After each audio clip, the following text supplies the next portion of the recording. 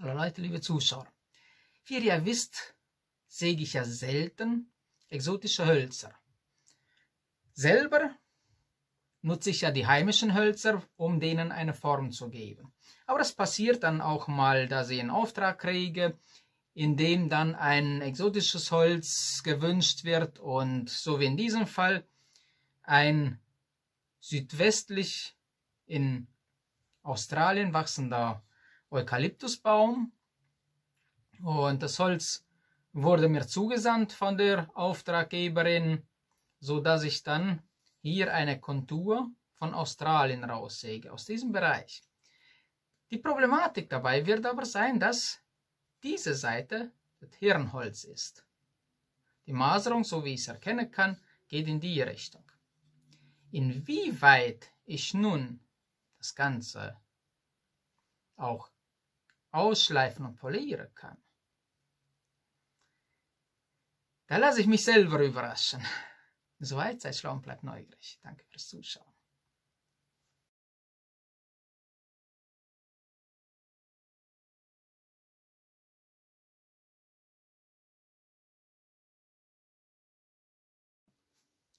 Als erstes möchte ich feststellen, ob ich diese Oberfläche einmal relativ glatt schleifen kann.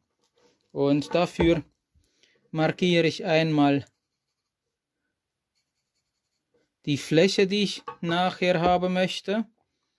Also das Holz in etwa 6 mm soll es sein. Aus dem Bereich werde ich dann anschließend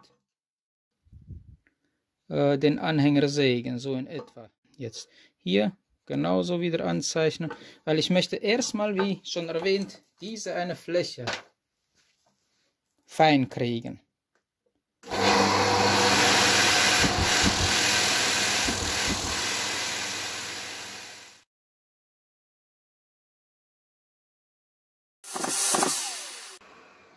Also man kann es recht gut fein schleifen. Ich müsste noch ein bisschen weiter schleifen und äh, das Licht reflektiert sich schon auf der Oberfläche. Das ist schon ein gutes Zeichen. Ich fühle es auch recht glatt und man erkennt somit auch die Holzstruktur.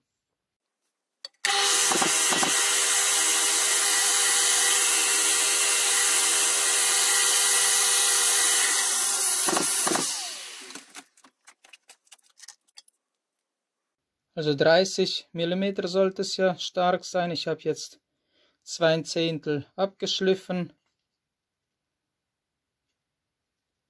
In etwa.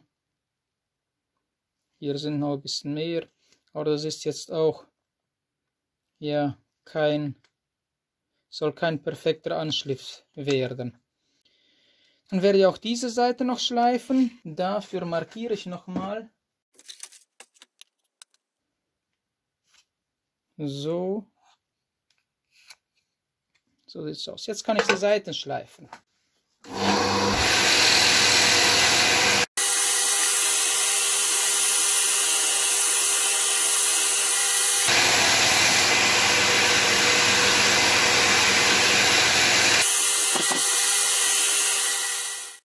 Während ich hier schleife, übe ich den Druck nur auf diese Hälfte aus. Das heißt, ich wechsle dann den Druck, dass dieses, diese Seite nicht so belastet ist, dass dementsprechend auch die ganze Absaugung gut funktioniert. Das ist jetzt die markierte Fläche. So sieht's aus. Die Holzstruktur kann ich jetzt mal kurz quasi unter das Mikroskop nehmen.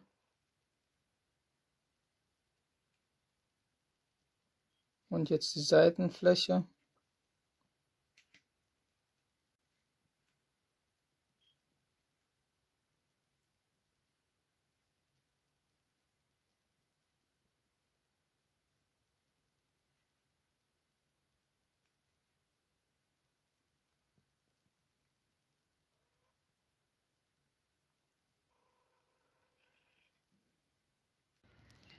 Das Holz ist nun leicht angeschliffen und zu allen Seiten, so kann man ein bisschen die Struktur erkennen. Das Ganze wiegt 103 Gramm bei einer Länge von 120 mal 30 mal 40. Das als PDF ausgedruckte Motiv von Australien, die Konturen von Australien, werden jetzt mal grob ausgeschnitten und danach appliziert in diesem Bereich hier. Das mache ich jetzt mal kurz. Es wird sowieso nachher noch konvex ausgeschliffen, das Ganze. Soweit ist es okay, wenn ich dann dementsprechend mit Leim die Vorlage aufbringe. Ich markiere jetzt ein bisschen großzügiger von der Breite her, so dass ich da nicht zu wenig ansäge und das Ganze soll dann in etwa 6 mm sein. Staubsauger ist an.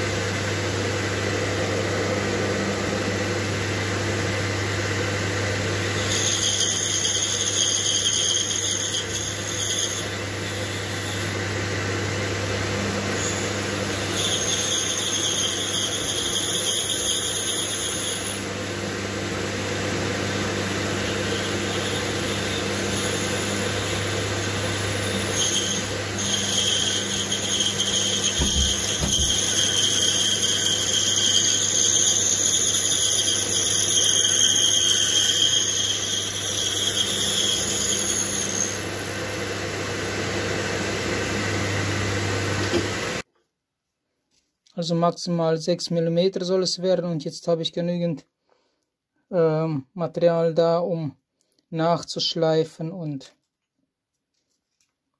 die Ringschraube einfügen zu können.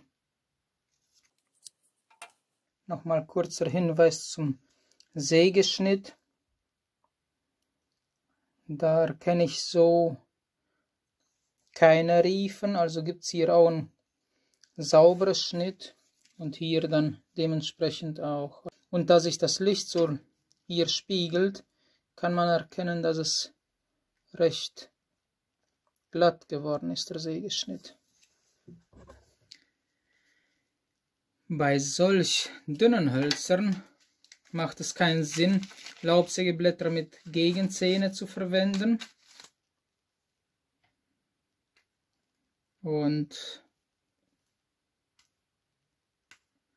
Diejenigen, die meine Videos schon gesehen haben, öfters meine Videos gesehen haben, da habe ich es auch erläutert, warum. Es ist nämlich so, dass äh, die Gegenzähne aus der Platte hier von der Oberfläche rausschießen, egal an welcher Dekupiersäge gesägt wird.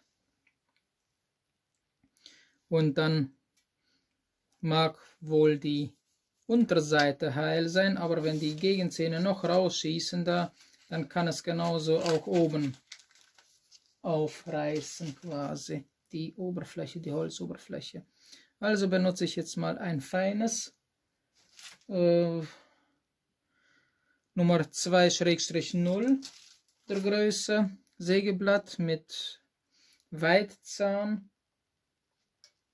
Da muss ich jetzt einmal hier durch, ja. So. Ist jetzt ein recht feines Sägeblatt, Laubsägeblatt. Aber es wird sich zeigen, inwieweit das auch gut nutzbar ist. So, damit ihr ein bisschen besser nachvollziehen könnt, wie ich das hinkriege hier, versuche ich dann noch näher dran zu kommen. Ja. Eukalyptusholz ist ein recht hartes Holz und auf geht's. Staubsauger an. Dann habe ich ja hier das Staubsauger. Und der wird da eingesteckt bei meinen hier habe ich auch die Aufsaugung.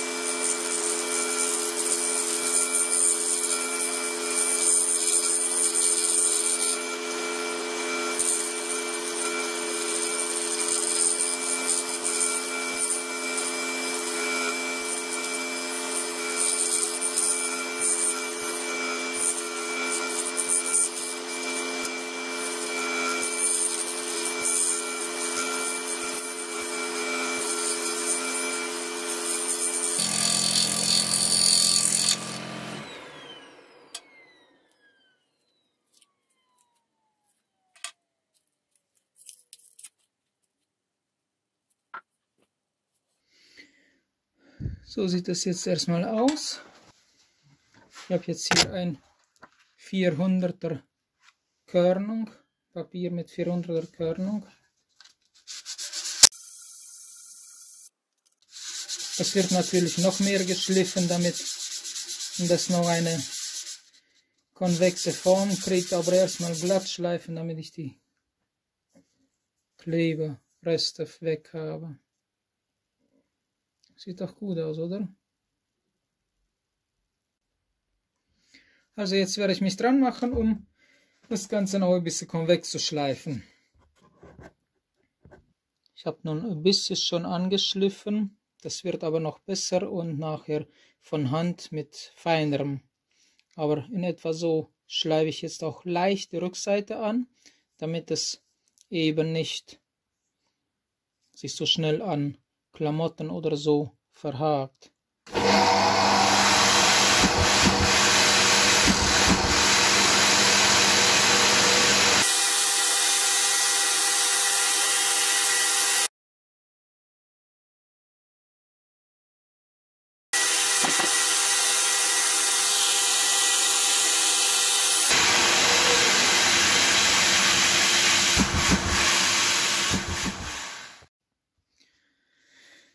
Für das Anschleifen nehme ich jetzt wieder ein bisschen den 400er und anschließend den 2000er und für den Feinschliff 4000er Körnung quasi.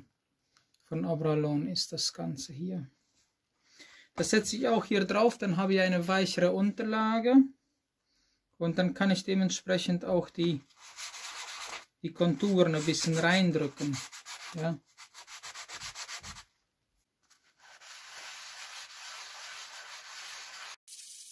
Also man merkt, ein Abrieb ist immer noch dabei bei dem 400er. Und das werde ich jetzt so langsam schleifen, von Hand schleifen, so dass es dann auch dementsprechend ein sehr gutes Ergebnis darstellen kann. Das war jetzt mal die Rückseite, jetzt die Vorderseite. Das dauert aber ein Weilchen, daher fällt die Klappe nun. Der 2000er ist jetzt dran.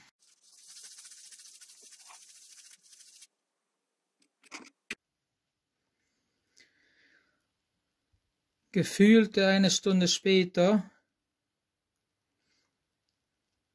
ist es immer noch nicht perfekt. Ich habe da in der Mitte noch sowas wie Rillen. Seitlich konnte ich besser hinkriegen den Anschliff, weil ich eben so, ein, so einen seitlichen Druck aufgebaut habe. Ne?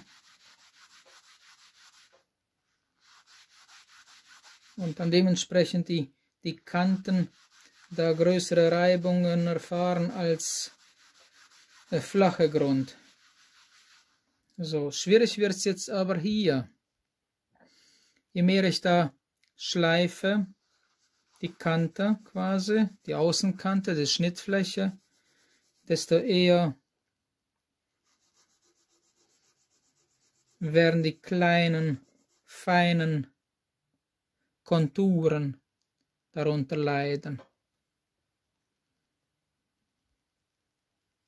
Also werde ich das nur sporadisch machen müssen. Und dann gibt es vielleicht einen schöneren Kontrast zu dieser anderen glänzenden Fläche.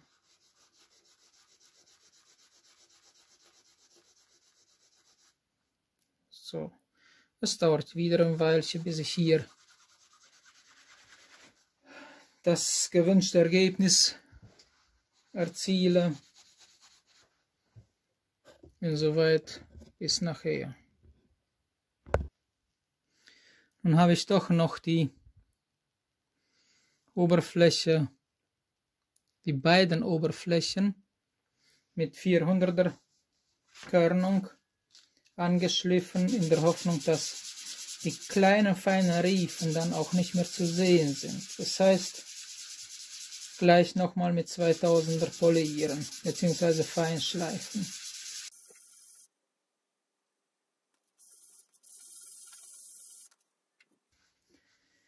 So, 2000er wieder. Da glänzen meine Finger auch bald. Das dauert wieder. Also nochmal, bis bald.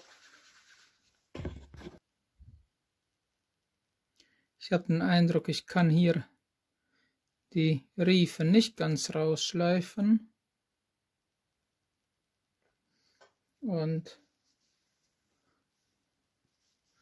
jetzt nehme ich mal das 4000er. Mal schauen, was danach für ein Bild sich ergibt.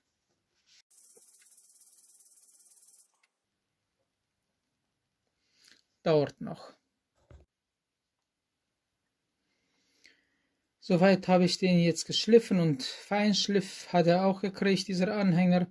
Jetzt bin ich am überlegen, welchen Bohrer ich benutzen kann. Beide habe ich hier jetzt Größe 1 und ich habe so ein kleines winziges Anhängerchen, da eins und hier noch ein kleineres, das kaum zu packen ist. Und bei 1,35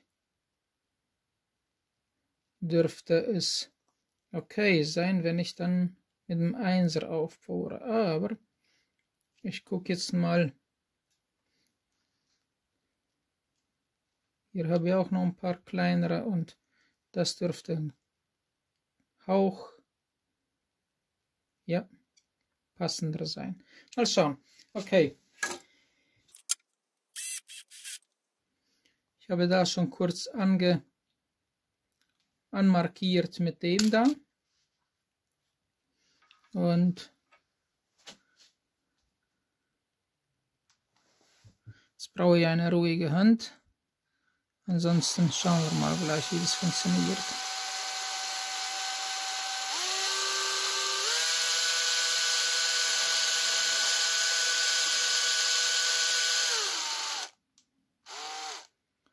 Ja.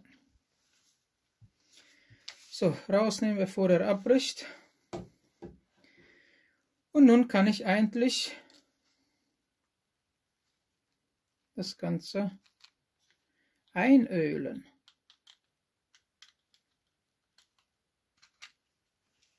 Schiebe ich mal beiseite. Das auch. Zum Einölen nehme ich einen kleinen alten Lappen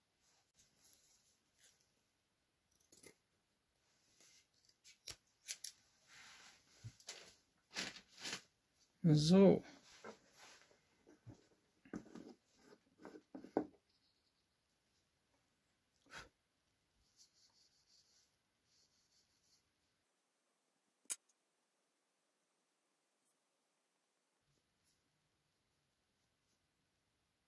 Mann, sieht es gut aus.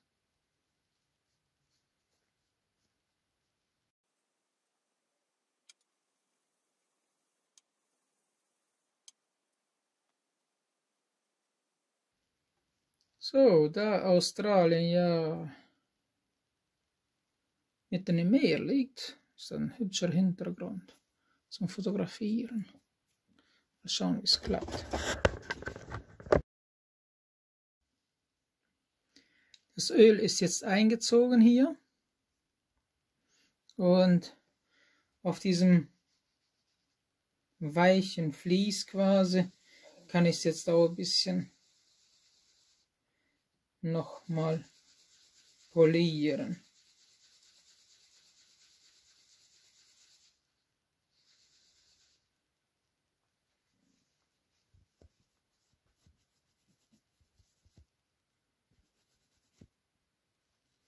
Also quasi mit der Rückseite von diesem 2000er.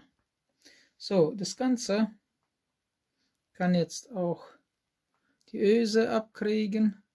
Ich habe schon vorgebohrt.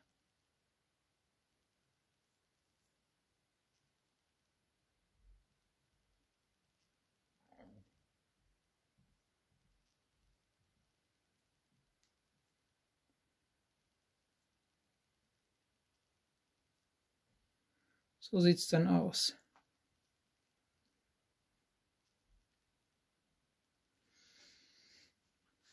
Danke fürs Zuschauen und bis dann. Seid schlau und bleibt neugierig.